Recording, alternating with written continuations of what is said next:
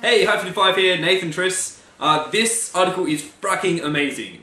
Fracking amazing. Fracking. Um, okay, so we freak out a lot about food lately. Because feeding people is important, kids. We're eating oil. Um, yeah.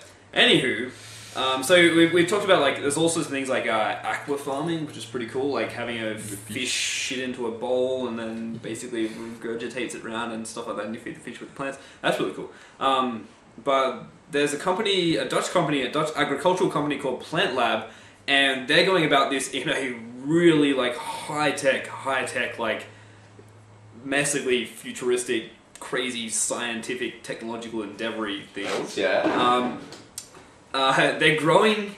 Um, they're growing plants. They're doing hydroponics, and they want to do it obviously in skyscrapers. You've seen all that notion before. Yeah, like, yeah. let's grow plants in skyscrapers so we can grow it in the city and not, don't have to ship it in. Um, but they've worked out that plants actually don't like light in the green spectrum really? and the yellow spectrum because it just all it does is just dehydrates them and burns them. So they're actually growing plants with red and blue LEDs.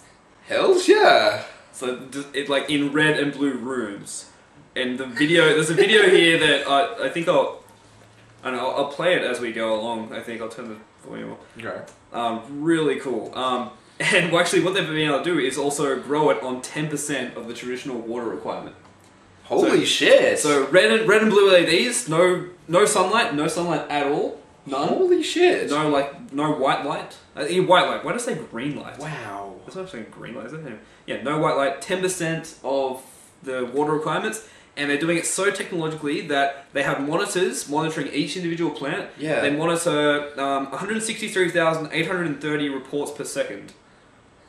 Using of, of different types of depending on what type of crop they're growing, they can also tweak um, like the light source and they can t- tweak the entire environment and the water source like accurately Yeah. to the second for every different plant for every different crop, um, Wow. which is pretty. That's just incredible. Amazing. Yeah, really amazing. I mean, if you can do this on a large scale in skyscrapers, Well, how big is it now? I, have they got it in the? Is it no, just in the lab I at the think moment? they're just testing. Yeah. Well, Sweet. so that's the thing with this. It's like it's not gonna. This is not gonna happen until food becomes expensive enough. Until it's economically feasible. Yeah. Yeah. Because then it's like, why? What's the point? I'll just grow it in the field somewhere. Yeah. Um, but here's another really cool, interesting fact. Um, when grown outdoors, plant photosynthesis is about 9% efficient. Mhm. Um, they're growing their plants at an efficiency of 12 to 15% now. Hells And aiming for 18%. So they're growing plants more efficiently than they grow outdoors.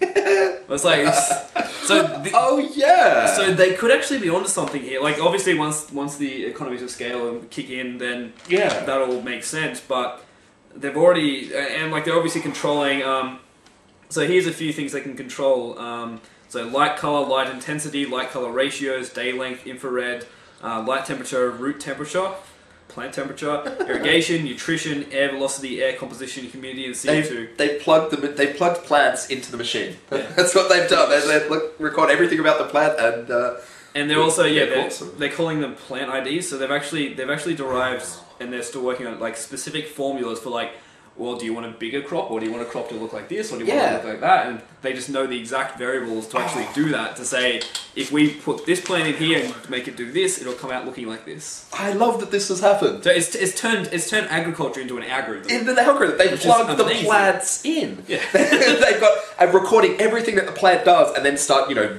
adjusting the variables, see what happens. Have like what was it, 160,000 per second, like you know Yeah. bits of information coming in. They plugged them into the machine. They are now the machines growing it. Yeah. You say you say. I want this type of plant, and oh look, I'm trying to get this bit there. So you vary it a bit, and you let it automatically like you know adjust stuff to work out the best possible thing. This is fucking epic. Yeah. And then combine that with uh, I think one time we talked about robots growing lettuce. yeah, yeah. Like a completely autonomous system. Like Yeah, just combine that it up. with that. the lab just- finally joined. Oh man, You do that with every center all around the world because they've Yeah. recorded every bit there. It, you're creating a plant mind, really. That's a plant mind because The plant mind, because the plants will be telling you what they think. They're like, I need more water. Give me more water. that they'll try and like you know increase the, the the output of whatever and like there might be a slight mutation of one plant like you know all the way in India or something actually mm. manages to do it all the other plants around everywhere like oh shit yeah let's replicate exactly what happened there that'll spread around to all the other crops Yeah, here's the perfect algorithm. Well, Exactly. imagine, imagine if they actually have, if genetic testing becomes cheap enough that they can just literally have the do the complete genome of every single plant that comes through. yes yes And then that becomes another data point on which to say, with these variables, we got this genetic outcome, Yeah. and this genetic outcome produced these results. and so they can actually wow do that in a global system, and then it's that idea before we had of like, imagine if humans had like a device stepped into it, stuck into it, it's like, you know, here's the best genetic code, upgrade. Wow. Do that with plants, like, Yeah, you really can. This is the beginning of how scale. I didn't realize it was, it was at that level. Like, I mean, it's it's a pretty uh, relatively like the idea is basic enough to just record absolutely everything, but to do it on that it's scale, like yeah, it's pretty unique. yeah, it's a, just an organic thing. Just put in. Like, I mean, once you can start replicating it, no matter what, with no, you know, with no problems arising, Yeah. that's big.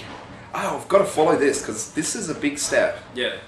I just wish they'd work out again the, the economies of scale because Yeah. because it, it, Well, and it it must be really expensive. I, all of this data needs to be open and shared with everyone. I mean, and anyone else can start contributing to it because that'll be the fastest way for this to actually grow. Sure, they've done the prototype now, like you know they've got the, the warehouses and whatever growing all the plants, but actually you know share it with everyone else so then they can see comparing to their one or sell a kit that you can plug your plants in and stuff. Yeah, kit would be awesome. Be great fun. Like a MakerBot for plants. Yeah. Damn. Could even do things like have with real world data create games where you grow plants. yeah. Now that's the And ultimate you- farm and you build tweak right the, there. Tweak the variables, yeah. Yeah, Oh. plug it into Farmville, but make it more scientific and make it real. Like, have imagine having a whole warehouse set up, and you're actually given all these plants to grow. It's like, okay, you, you pay money and you grow in the warehouse.